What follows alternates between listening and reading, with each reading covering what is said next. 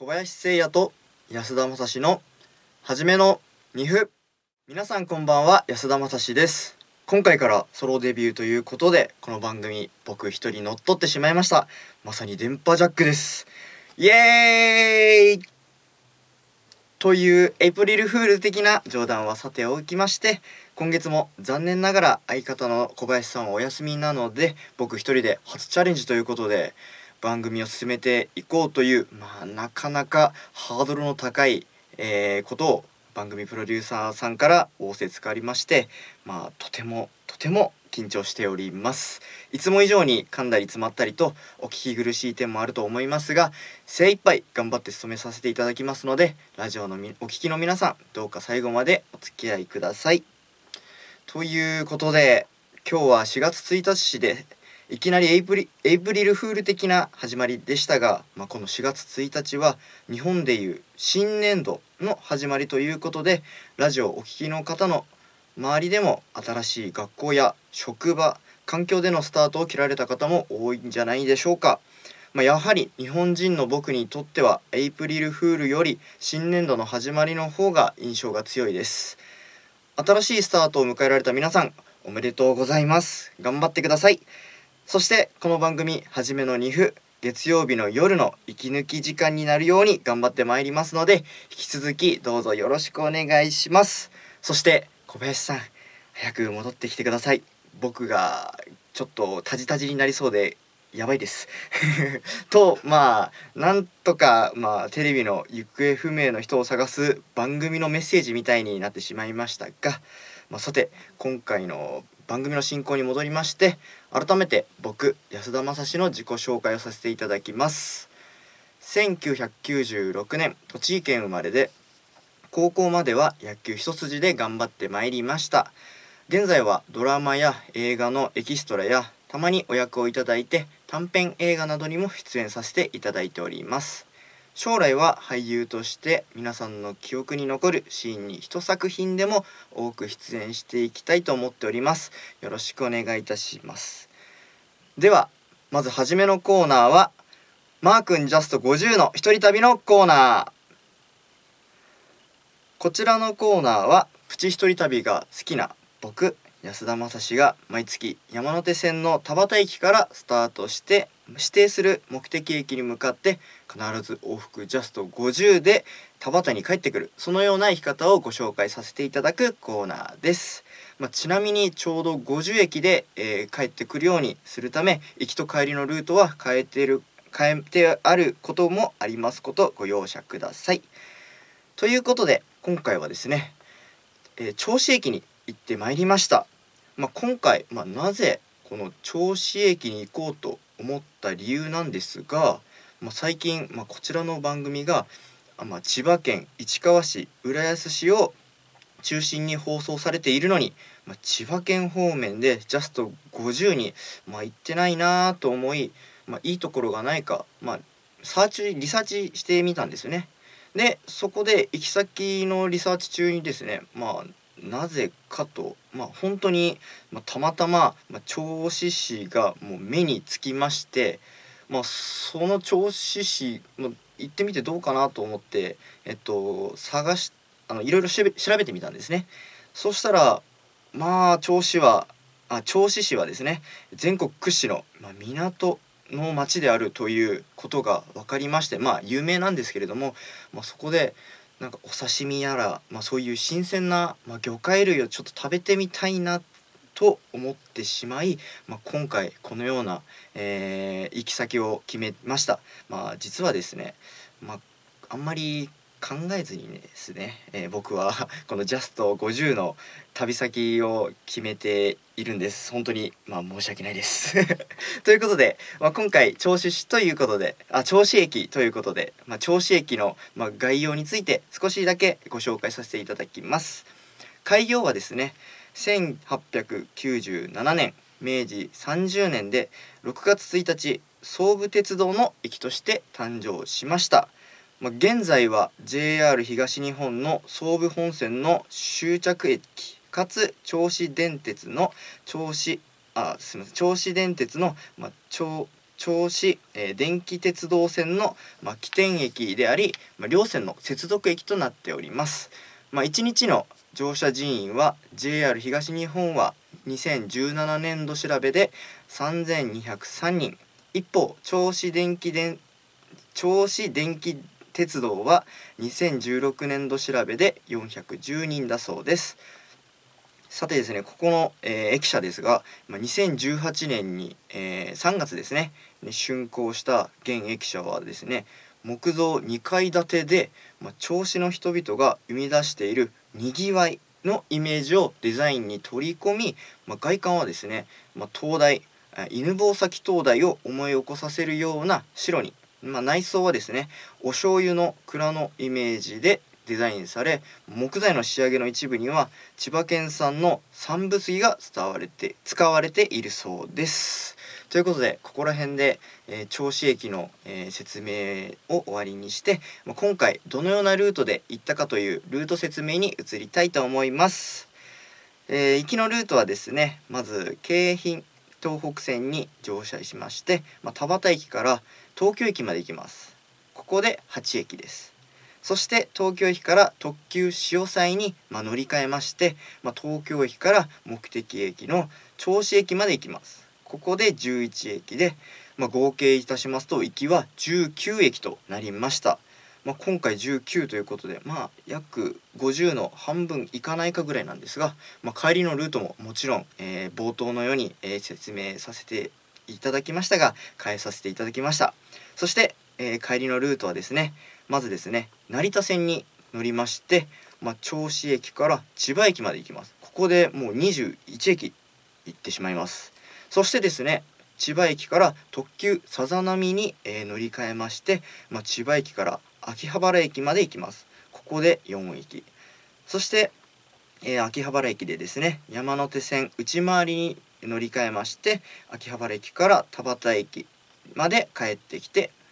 えー、ここで6駅ですね。そして帰りは、え、合計いたしますとやなんと31駅でまあいつものようにジャスト50で帰ってくることができましたいやー今回はどっちも同じ車両に乗ったんですけど、まあ、潮騒とさざ波ということで、まあ、ちょっと止まる駅が違うんで今回あのえっ、ー、と駅が、えー、止まる通過する駅の数が違うということでそういうものを駆使して、えー、ちょっと考えて、えー、行ってまいりました。ということで、まあ、実際に行ってみた感想なんですが、まあ、まず行った日がすっごく、えー、晴れていまして、まあ、とても気持ちよかったですね。まあ、それなので海がとても綺麗でしたね。まあ、海なし県の栃木県出身の僕からすると、まあ、海には、まあ、少しなんか憧れというかそういうなんか変な不思議な気持ちになってテンションが上がってしまうのがあるのでやっぱいや銚子駅って本当に良かったなというのはありましたね。そしてですねえっと港が、えー、近くにあるんですが、まあ、その港の近くにはですねたくさんの、まあ、海鮮料理屋が並んでおり、まあ、もちろん、まあ、この銚子駅を選んだ、まあ、理由も述べましたけれど、まあ、その料理がとっても美味しかったですね本当にもう刺身久しぶりに食べてやっぱ日本人だなみたいなことを感じながら、えー、お料理美味しくいただきました。ということで、まあ、皆さんも旬のお魚を食べに少し足を伸ばして銚子駅に行ってみかれてはいかがでしょうか。そしてまあ港までではですね、えー、少し歩きますがとても新鮮な美味しい、えー、海の幸を味わえると思いますので是非ゴールデンウィークの行く先候補の一つに挙げてみてはいかがでしょうか。以上今月のマー君ジャスト50の一人旅のコーナーでした。まさしの一人部屋お仕事編のコーナー。改めましてはじめの2歩今回の担当は僕安田正史で正史一人でお送りしております。それではここからの少しの時間は自分自身のことをどんどん、えー、いただいたテーマに沿っていろいろとお話ししてみたいなと思います、まあ、今回はですね、まあ、お仕事編ということで、まあ、作家さんからいくつかテーマを頂いておりますので、ま早速、えー、いきたいと思います。まずですね1つ目なんですがこの世界に入ろうとしたきっかけはということでですね、まあ、この世界に入ろうとしたきっかけはですね、まあ、高校を卒業してまあプラプラとは言いませんがまあ社会人になってまあなんか自分なんか何も何もしないというわけではないんですがまあなんか時が普通になんか流れていく感じをなんか嫌気がさしてしまいましてね。もう昔から、まあ、ちょっと僕はゲームが好きだったりまあゲームやアニメそういうのが好きでですね、まあ、声優になってみたいなと、えー、ふと思いまして、まあ、某養成所に、まあ、入ったんですね、まあ、そこでいろいろ声優さんになるための、まあ、ちょっとしたレッスンなりをやっていたんですね。でそこから2つ目の質問に行きますが、まあ、なぜ俳優を目指すことになったのかと言いますとまあその某養成所でですね、まあ、声優の養成所で、まあ、特別レッスンで、まあ、とある、まあ、映像プロデューサーと、まあ、出会いまして、まあ、これが、まあ、今の、まあ、社長なんですけれども、まあ、そこでですねえっと、えー、この業界、まあ、俳優にの、えー、仕事に仕事のですね、まあ、説明というかのを受けましてあなんか俳優さんってすごいなと思ってその声優さんももちろんすごいんですけれども、まあ、そのえ自分の映像映さ映してる自分のこの体で表現するというのも一つの魅力を感じてしまいましてまあその俳優になりたいなという思いがあり、まあ、俳優を目指すというきっかけになりましたね。そして、えー、3つ目に行きますが、なぜ今の事務所に入ろうとしたのかと言いますとまあこれも先ほどの、まあ、某、えーと、養成所でのレッスンで、まあ、プロデューサーさんと、まあ、出会い、まあ、そのご縁でですね、まあ、この今の事務所に入ろうと思いました。まあ、その事務所もですねえっと俳優の仕事だけじゃなく制作が部側の仕事もできるということでいろいろ今後の自分の、まあ、糧になるんではないかなという、まあ、一つの、まあ、魅力他に他の事務所さんにはないような、えー、と魅力があって、まあ、今回このあのここの事務所に入ろうと思いましたね。そして、まあ、契約の時の思い出というのがあるんですが、まあ、普通、まあ、契約といったら、まあ、どこかの喫茶店に行ったりと行ってですね、まあ、その社長なり、まあ、そこの担当の事務所の人だったりに、まあ、契約書を書いてあよろしくお願いしますという感じがまあ一般的かどうかは別としてまあ普通のイメージだとは思うんですけど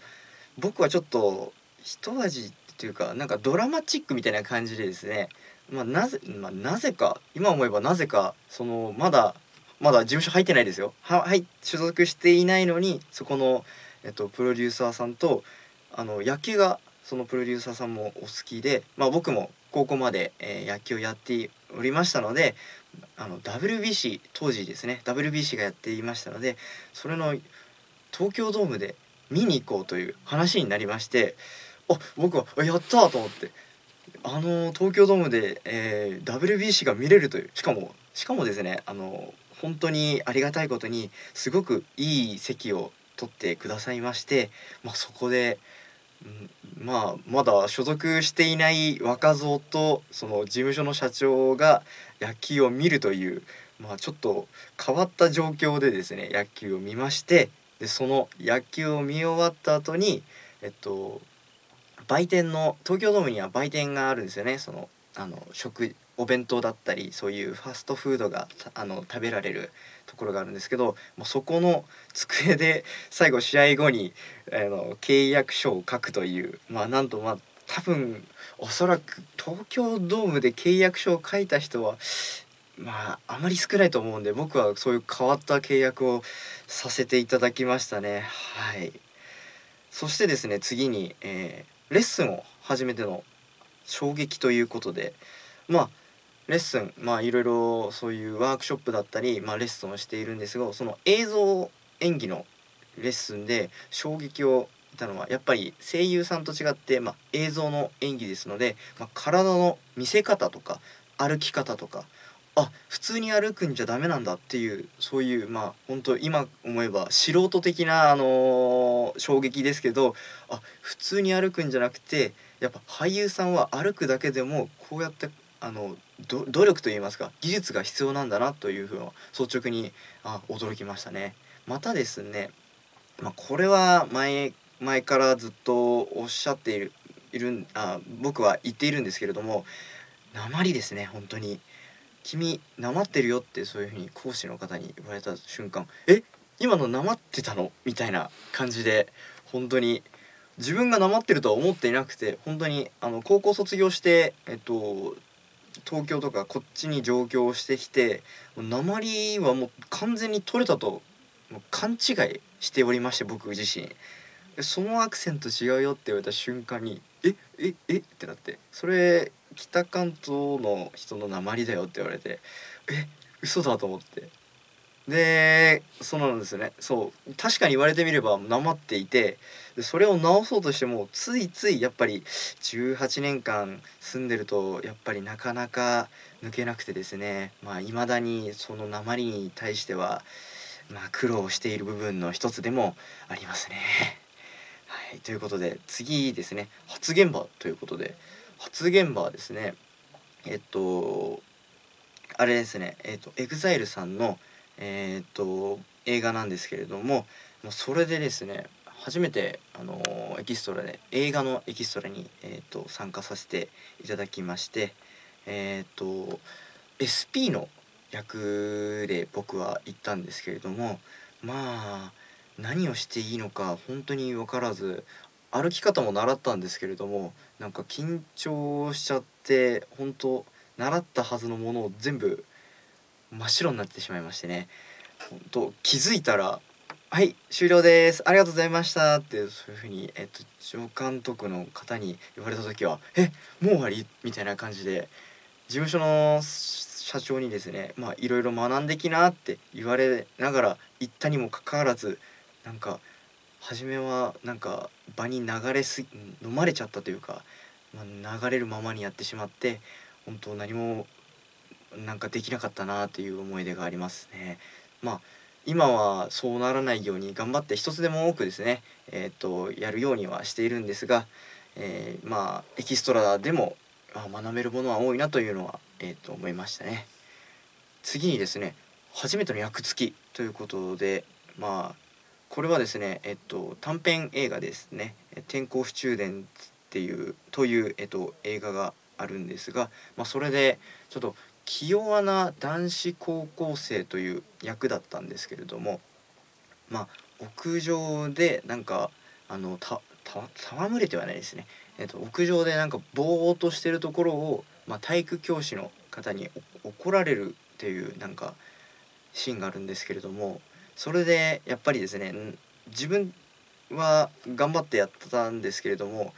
映像を見てみるとですね、まあ、その見ている視線がおかしいなっていうのに気づいてあやっぱりなんかその視線一つでもやっぱり全然僕は俳優さんとしてのスキルが全然ないなっていうのをやっぱり痛感したやつですね。で次の質問と連動するんですけどそこで初めて、えっと、制作会社としてのスタッフとしての、まあ、苦労があってですねまあその制作会社のスタッフとして、まあ、そのお弁当を用意したりとか、まあ、下準備みたいなのもあったりですねもうあれしろこれしろっていう風にしなくちゃいけないことが山積みでですねもう僕がそのできないとその現場の流れも滞ってしまうというそういうある意味俳優とは違うんですがそういう制作会社のスタッフとしての、まあ、苦労もすごいですね。で次にですね思い出に残る現場なんですがまあこれはまあ某映画のま続編なんですけれども、まあ、僕が好きなアニメの漫画ですね。アニメや漫画の、えー、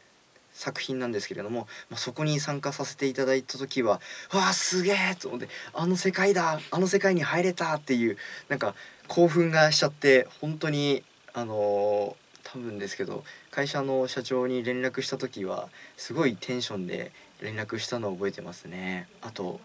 お弁当がすごく美味しかったっていうのも覚えてますね。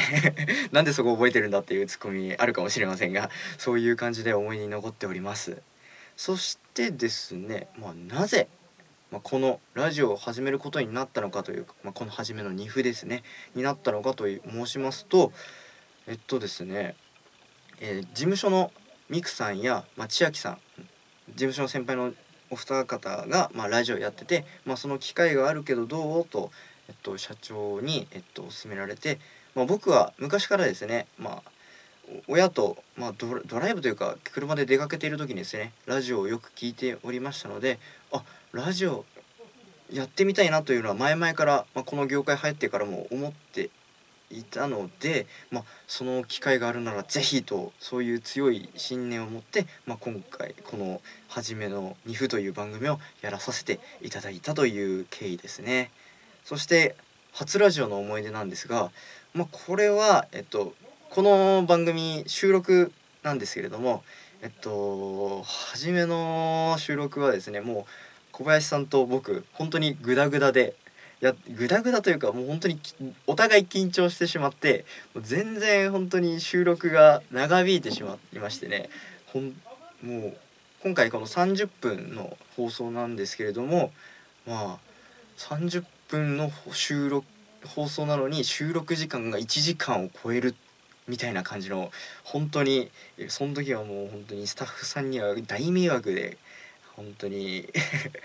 タジタジだったのを覚えておりますね。それをたまに小林さんと話したりはしますね。そしてですねえっ、ー、と一番印象に残ってるゲストなんですが、まあ、これはですねえーと、松本弘香さんですね、まあ、なぜかと申しますと、まあ、初めて、まあ、事務所の先輩、まあ、言うなれば、まあ、身内の人以外のゲストさんだったので、まあ、緊張は本当に半端なかったですね。失礼があってはいけないよとあの本当に念を押されて、えーと、言われておりましたのでもう小林さんともども、えっと、緊張しながらやってたら、まあ、ひろかさんの方がなんですかねあのラジオに向いてるのか分かんないですけどすごい自然体でやられててあすごいなっていうのを本当に思っていますね。本当に。なんで緊張しないんだろうって不思議に思ったぐらいですけどね そしてですね、えっと、初の大きなお役22世紀グーは声出ない事件というものがありましてですねこれをご紹介したいんですが、まあ、現在22世紀グーは、まあ、予告編が、まあ、公開中とのことで、まあ、ぜひリスナーの皆さんも、えっと、もしよければ、えっと、見てほしいなと思います。まあ、この22世紀グーアの声出ない事件なんですけれど僕は、えっと、声出してるつもりだったんですねそのセリフを。なんですけどそのプロデューサーさんや、えっと、監督さんから声が出てないからもうちょっと声を出してくれっつって僕野球部なんで声を出すのは慣れてるはずなのに初めて声を出せって言われいう指摘を受けてパニクっちゃってもっとそしてもう本当に「あはい」みたいな感じの声になってしまってどやされるという あその撮影終わった後にですね「えっと、お前何やってんだ」っていう風に怒られたのは本当にあれですね。悔しかったですね。なのでまあでもその声出ない事件なんですけれどもまああの是非22世紀グーアで検索してまあ表情も多分緊張してると思うので、まあ、ぜひ22世紀グアで検索して、まあ、チェックしてほしいんですが、まあ、声の方はですね本当にあの音声部さんと、ま、監督に、えーと、修正いただいたんで、まあ、一応わからないようにはなっていると思いますが、まあ、ぜひ、えーと、ご興味がある方は、えーと見ていただきたいなと思います。そしてですね、まあ、今年度の目標ですね。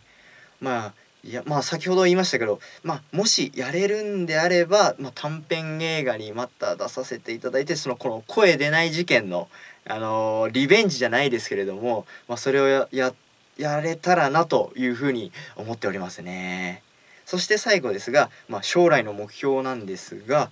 まあ、将来の目標はまあやはりまあやっぱりですね、まあ、皆さんにできるだけ広く知られる、まあ、有名な、まあ、俳優さんになっていろんなお仕事をしてみたいなという、まあ、漠然な目標になってはしまうんですが、まあ、そういう大きな目標に向けて、まあ、今後やっていけたらなと思います。ということで、えー、っと皆さんいかがだったでしょうか、まあ、次回はプライベート編というしてまたいろいろなお話をさせていただきたいと思います。以上まさしの一人部屋お仕事編のコーナーでした。